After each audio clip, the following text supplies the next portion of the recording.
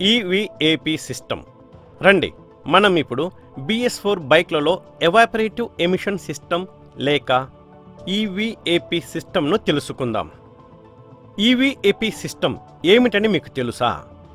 ఇది వరకు ప్రజలు కేవలం బైక్ సైలెన్సర్ నుండి వచ్చే పొగ వాతావరణాన్ని కాలుష్యపరుస్తుందనుకున్నారు మీకు ఇది తెలుసా?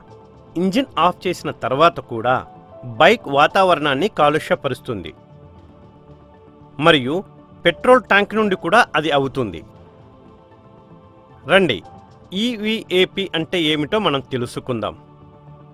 మరియు ఇది బైక్లలో ఎమిషన్ను ఎలా నియంత్రిస్తుందో.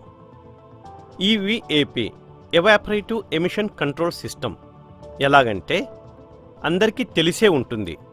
పెట్రోల్ అనేది వేగంగా ఆవిరయ్యే ఒక ద్రవమని. మరియు ఇది కొంచెం వేడెక్కితే ఇంకా ఎక్కువగా అవుతుంది.